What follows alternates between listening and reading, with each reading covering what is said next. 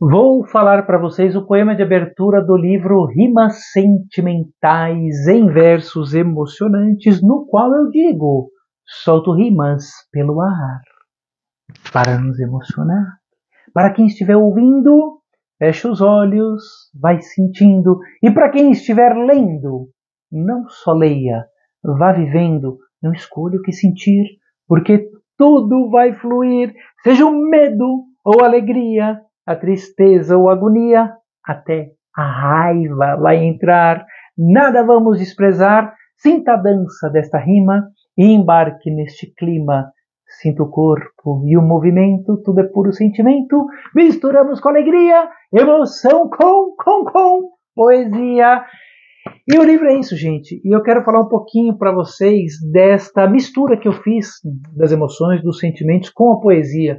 E a abertura representa muito o que é o livro para mim, porque quando eu falo solto rimas pelo ar para nos emocionar, na verdade, assim, a poesia ela é esse, esse, semear de sentimentos e emoções. Só consigo fazer um bom poema quando eu for tomado por uma emoção muito forte. Eu digo para os meus alunos que a poesia é muito mais emoção, o sentir do que o pensar. O pensar vem no processo depois. Então, esse mergulho que eu fiz para fazer o livro, com esses poemas, com essas rimas todas, de todo esse universo da educação socioemocional, é, ele passa para os leitores. Esse convite que eu quero fazer para você que é pai, para você que é professor, tem crianças, né? É convidá-los a conhecer as emoções. Não a desprezá-las ou a ignorá-las ou negá-las. Não, sinta isso que não é bom. Tem um poema que fala assim, né? Não escolha o que sentir. Porque tudo vai fluir. E é isso, né? A vida é isso. Você vai escolher. Você ficou com raiva da vizinha, porque não sei o que, ficou com raiva. Você não escolhe o que sentir. O que você escolhe é o que você vai fazer com isso. Essa escolha a gente tem, mas a escolha primeira desse sentimento é inexistente, ela é impossível de acontecer. Imagine para uma criança. Se para um adulto é impossível, imagine para uma criança. Ninguém consegue escolher o que vai sentir. A gente sente tristeza, alegria, desprezo. Então, o livro ele é uma grande oportunidade para que a gente amplie o nosso repertório emocional. Para que você sente com a criança, é, individualmente, na hora de dormir à noite, ou com seu grupo na escola, e fala, gente, vamos falar das emoções. E aqui você tem um amparo de poemas e de ilustrações da minha amiga Isabela Giordani, que são maravilhosas. Então você tem um amparo poético do texto e das ilustrações. E ela tem uma sacada, gente, que é algo né, impressionante. Olha a raiva que ela fez. Né? Então todo o trabalho da ilustração é, também ajuda muito a gente vivenciar a experiência desse livro. Então quando eu falo também aqui, ó, Sinta a dança desta rima. Embarque nesse clima. É como se eu fizesse um convite para o leitor. Vamos dançar junto? Mas não vamos dançar qualquer música. A gente vai dançar as emoções.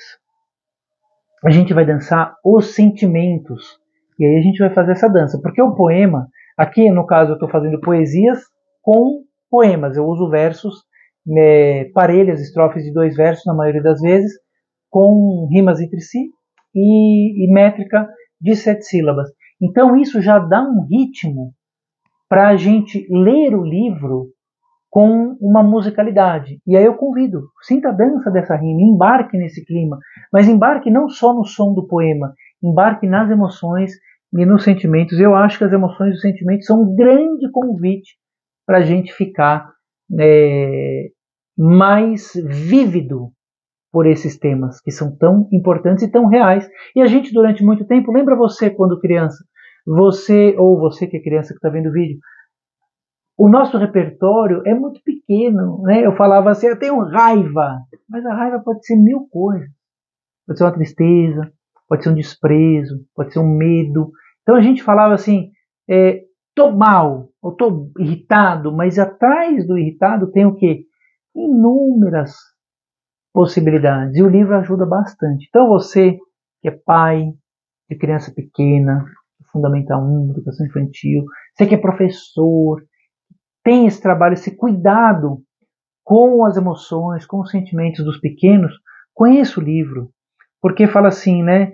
É, para quem estiver lendo, não só leia, vá vivendo, vá vivendo. Essa é a maravilha, a gente viver essas emoções, sejam elas quais forem. Agora, claro que a gente consegue escolher, depois de um tempo, que vai fazer com ela. Agora, essa escolha primeira não existe. Tem um poema que fala assim: até a raiva vai entrar, nada vamos desprezar.